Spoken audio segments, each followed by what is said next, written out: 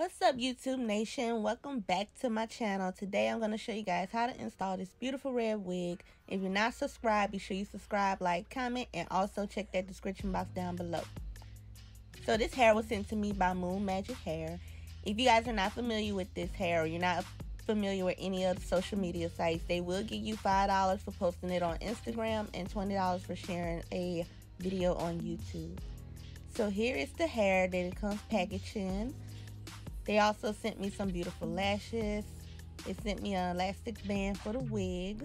And they also sent me a wig cap, which I won't be using. But I will be using the lashes when I do my makeup. So this is the hair. It comes in this hair net. And it comes protected with the little ball of paper in the inside. Now, one thing I did like about this hair, it already came pre-parted, but it is free parted hair.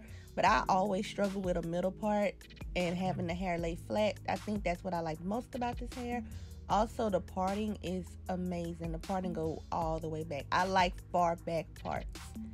But first things first, we have to get our wig cap straight.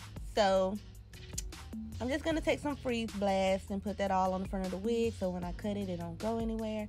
I feel like this is one of my best wig installs that I ever done. I got plenty of videos on how I install my wigs, like the honey blonde one, but I feel like I really took my time with this one. Also, I think the lace was invisible. I think it was a transparent lace.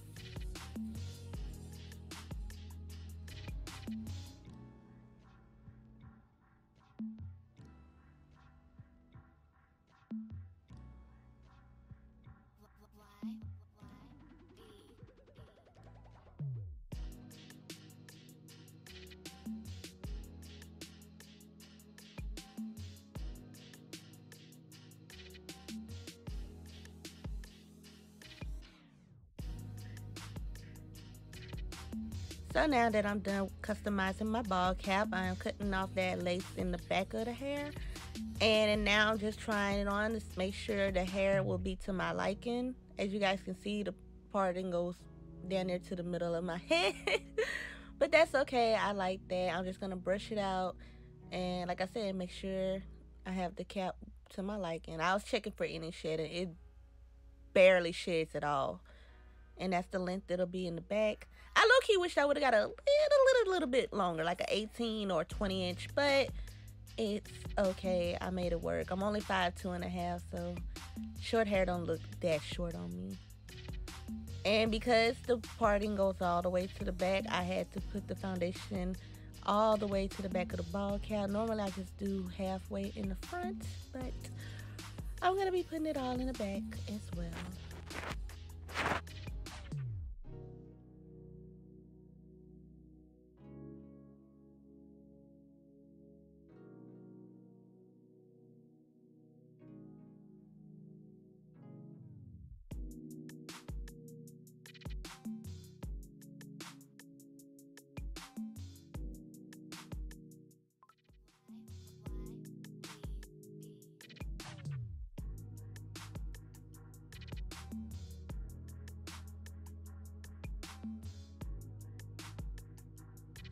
So here I'm just showing you guys that it is free parting. You can part the hair wherever you want and it still goes all the way to the back. And then I'm going to take this here hair clip and I'm going to start pinning the hair in the back so I can start gluing it down with my Ghost Bond glue.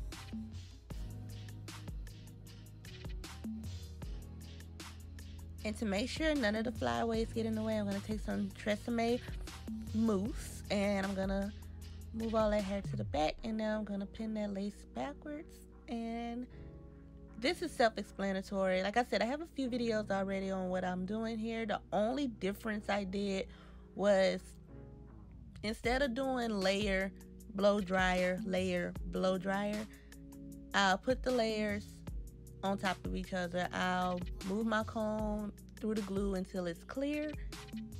And then I'll put the second layer or the third layer.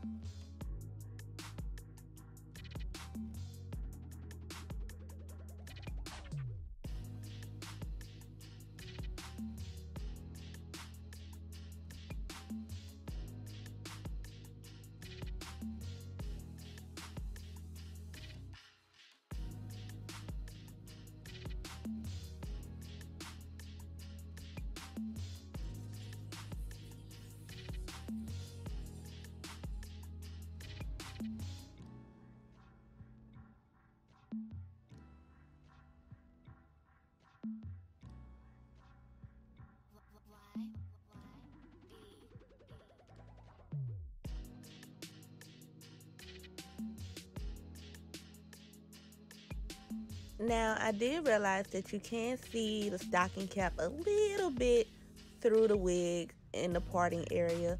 The only thing I did not do was tint this lace. I normally take my foundation and tint the lace, but this time I decided not to. But you feel free to tint it if you want to. It's up to you.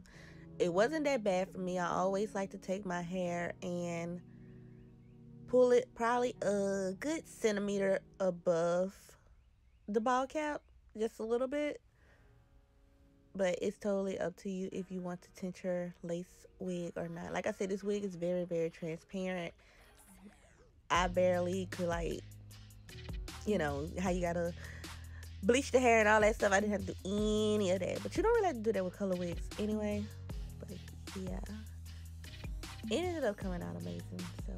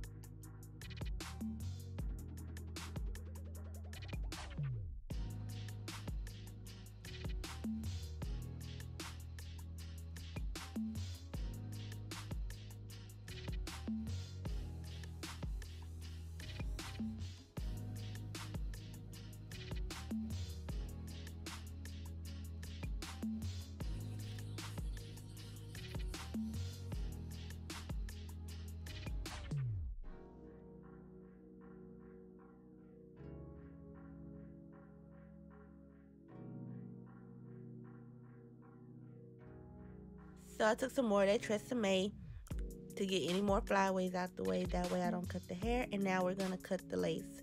I decided to cut as close to my lace as possible to the point where I did cut a little bit of hair, but it was just extra hair that was unneeded. So yeah, it, it ended up working out.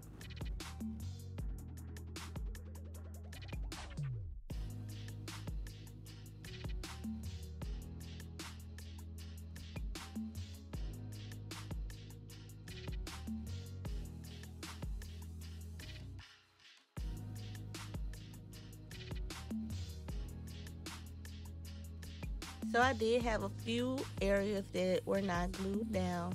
So to mark where I would put the glue so it won't go too far, I took a red lip liner and I outlined the glue right before the lip liner. Sorry guys, I be y'all know I can't talk words down, so I be trying to break my words down.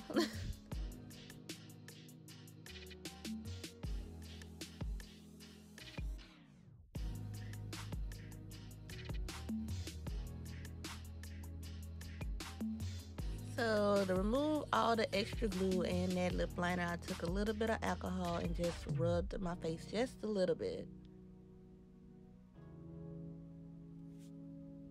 And now I'm going to pin my hair up in a ponytail and then I'm going to tie the hair scarf around my hair and that'll give it an extra lay down. That way it will lay flat, it will look pretty, it will look nice and I let that sit probably the whole time I did my makeup. In fact, I did let it sit the whole time I did my makeup. So it took me about 30, 40 minutes for me to do my makeup. That's how long I let this lace melt into my skin.